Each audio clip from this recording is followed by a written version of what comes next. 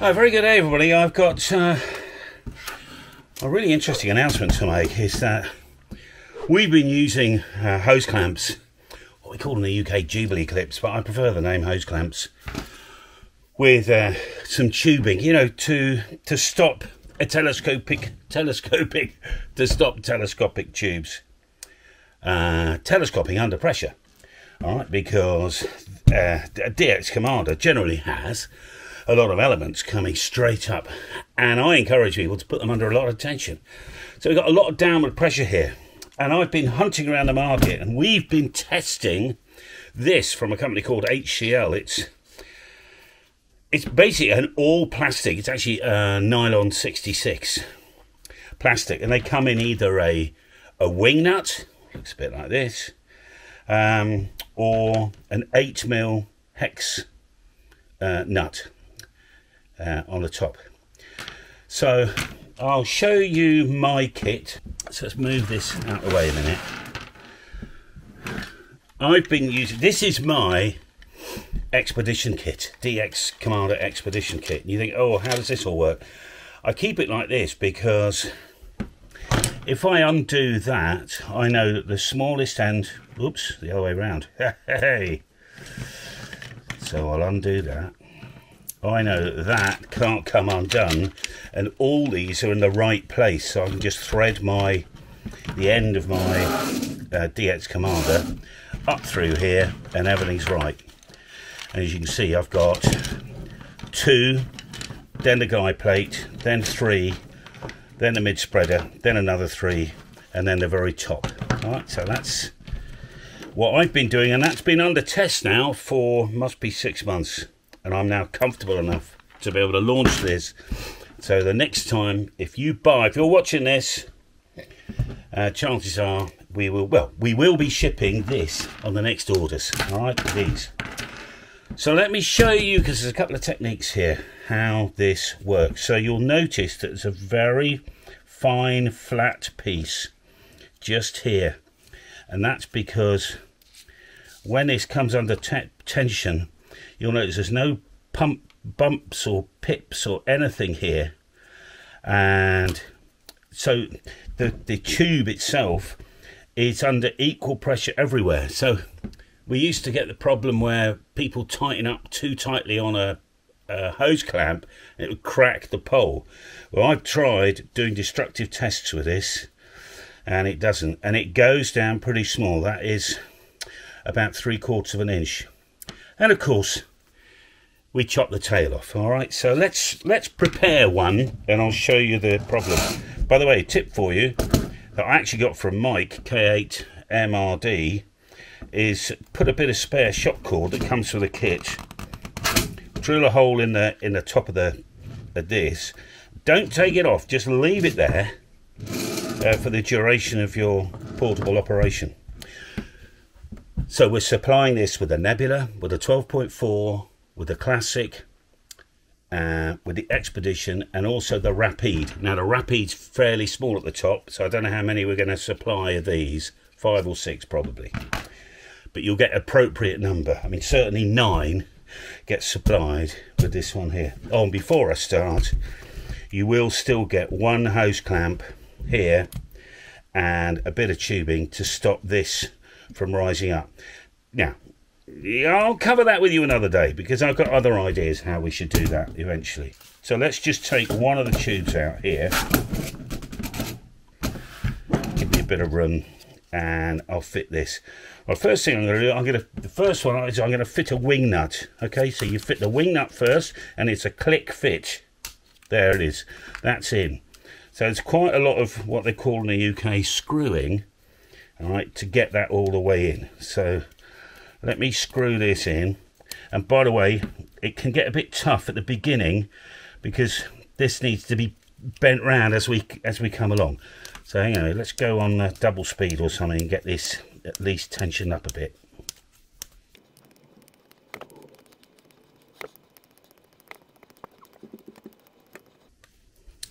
Right, we're getting close. So slip it over.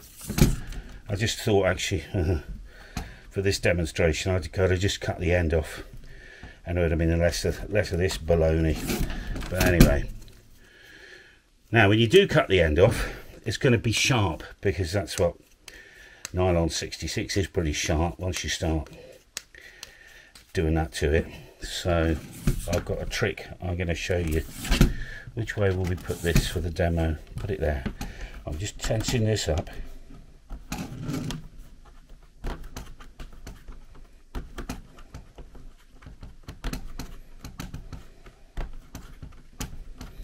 Right, it's just about to be tension, so I'm going to pull that out as far as I can. Back this off a whisker and put it down. I have noticed that the shank, that's the right expression, is a little bit lower than the, the body. So what I've actually been putting it on at an angle, just a very slight angle, just to give a bit of support both sides. So there we are. That is very tight. Right, what do I do next?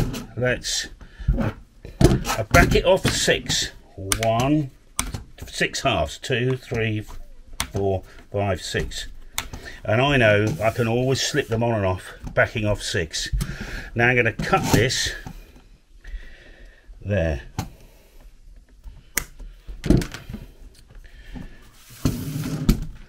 And then also do is um, Wendy bought a little Dremel uh, gun thing. Tiny flame on that. I think we can. Can we open that up more? There we are. I'm just going to put a flame just across this, and I've noticed that just takes any sharp sharpness away. Just make sure it's cooled down already, and it has. So if you can see that, it's just just takes the sharpness off. Okay, put it back on.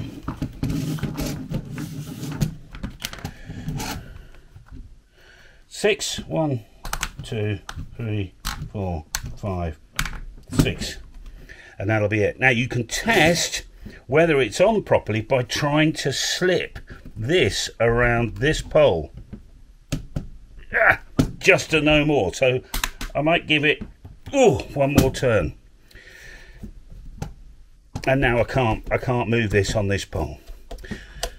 I could get fussy here and cut a bit more off there. Should we do that? I think we'll just cut another couple of notches off. Just quite sharp. Just to know, oh there we are, that's all it needs. Just take the sharpness off. Lovely, lovely. Because in the field, you just don't want to go cutting yourself, do you? A hot air gun might do that as well. We can check in a minute. There we are, lovely, nice and smooth. And there we are. So, and that's uh, not going to collapse. Okay, so that's the wing nut. And the wing nut version is only for the expedition kit. All right, only for the expedition kit because then we got the hex nuts. So let's do the same again as if you were building this for, let's say, a classic. I'm going to click it in place. Lovely. And this time I'm going to do a cut at approximately the right place. Let's cut it there.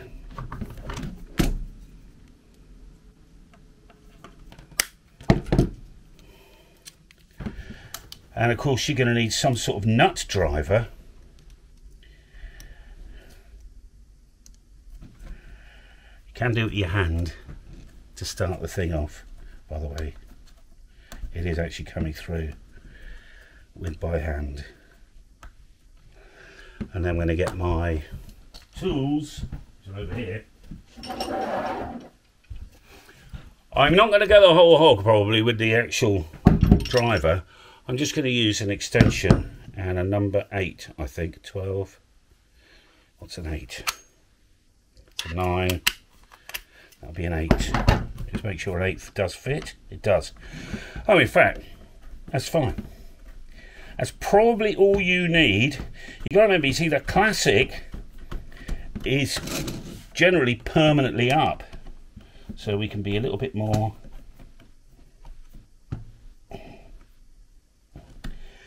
give it much more than that. We can cut this right back as well. See if I can slip this on this tube. Just to no more. So I'm just going to give it a tiny bit. Ah, probably not more than that. I'll cut it off. Fairly close in, I think. A little bit of heat. Just melt that end tiny bit.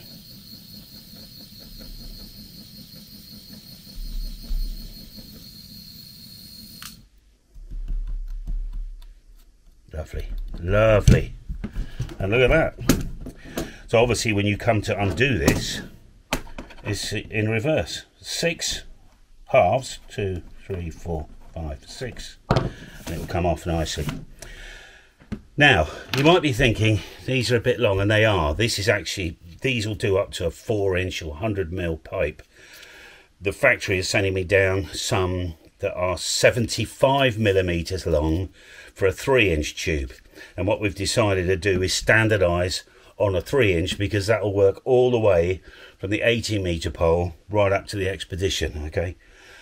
Um, so yes, there is a bit of wastage. You'll have to cut the ends of these off, but it's it's pennies difference. Otherwise, I've got to stock some three inches and some some two inches, or 75 mil and 50 mil. It's just the way of the world. You know, um, I'm not going to go into the details, but when you have multiple stock items, just costs money. Stock take, ordering, confusion, and everything else. So you're going to get one. It's a little bit shorter than that. To start with, I've got a thousand of these, so uh, a lot of people will get them that long. Anyway, just cut it off, and that's it. Um, does it survive under high power? Yes, it will because it's far enough away anyway from the elements come a little bit further away so you're actually going to be fine. I haven't done a high power test and actually strap one of these to an element but that never happens apart from on 80 meters on the 12.4 and 80 meters is going to be fine.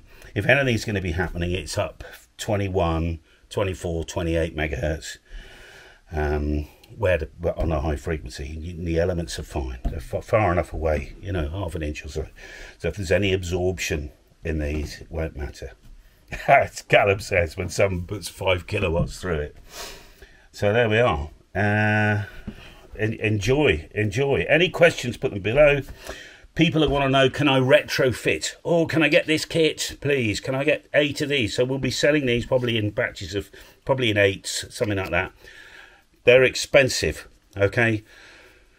Uh, I don't know the price yet. Look in the description for the price and a link maybe to uh, buy some of these. All right, if you want to upgrade, I'll price them one at one at one at a time and make a comment.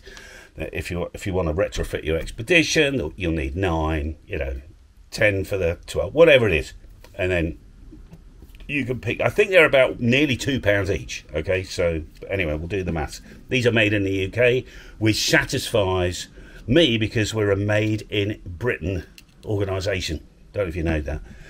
So I'm encouraged to keep my imports right down and buy stuff from UK suppliers and UK manufacturers. So it's all British made. There we are. Hopefully that satisfied you. Um, I think it's much better. Okay. Um, I think I just wanted to give you one tip that on the expedition, what I have noticed is get all your get all your clamps. Obviously, do a dry run at home. This bit here is obviously quite big all right. So this you need to place this all the way up the tube out the way of where your elements are going. And that, and that works fine. If, if in doubt you just you can just grab the very bottom one this one here.